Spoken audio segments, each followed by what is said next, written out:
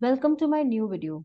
Today we will learn other ways to say I am busy. Busy. Busy word का मतलब क्या होता है जब आप व्यस्त होते हैं किसी काम में तो हम कहते हैं I am busy. लेकिन बार बार बार बार हम यही बोल रहे हैं I am busy, I am busy. तो आज हम कुछ नया सीखते हैं कि I am busy की जगह हम और क्या वर्ड्स और टेंसेस हम यूज़ कर सकते हैं। तो लेट अस बिगिन हम कह सकते हैं आई एम प्री ऑक्यूपाइड जैसे आपको मान लीजिए किसी ने कॉल किया फो, फ़ोन किया आप नहीं कर रहे हैं तो आप उसको मैसेज कर सकते हैं कि I am preoccupied with my work and sorry I can not take your call या आप मान लीजिए कि आपसे कोई काम बात करने भी आ रहा है तो और आप बिज़ी हैं किसी काम में तो आप कह सकते हैं कि I am preoccupied right now I'll come come to you later और I'll talk to you later तो I am preoccupied right now का मतलब है कि मैं अभी व्यस्त हूँ मैं बिज़ी हूँ।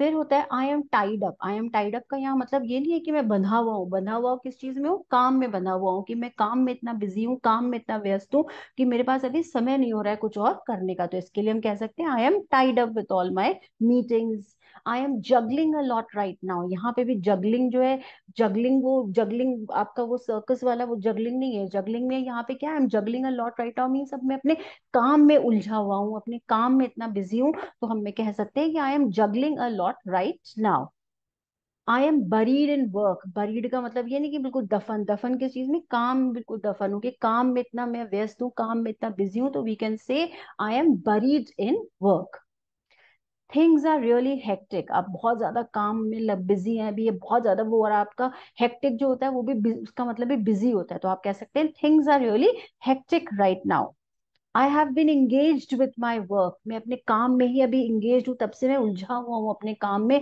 लगा हुआ हूँ अपने काम में। इसका मतलब भी यही होता है कि I am busy I am swamped right now swamped का मतलब स्वैम्ड क्या होता है? दलदल होता है। तो स्वैम्ड राइट नाउ मीन्स क्या जैसे दलदल में फंस जाता है, आदमी उसमें निकलना मुश्किल होता है तो वैसे ही स्वैम्ड स्वैम्ड का मतलब है कि आप अपने काम में भी इतने ज़्यादा उलझे हुए हो कि उसमें से बाहर आना आपके लिए मुश्किल है, उसमें से निकलना अभी आपके लिए मुश्किल है। तो हम कह सकते हैं I am busy right now so subscribe my channel to learn such new tips and tricks